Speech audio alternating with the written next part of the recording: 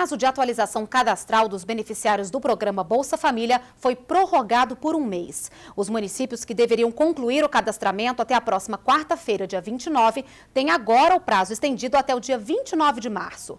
De acordo com o Ministério do Desenvolvimento Social e Combate à Fome, a adoção de um novo sistema de senhas deixou o cadastro único indisponível por duas semanas. Por isso, há necessidade de adiamento.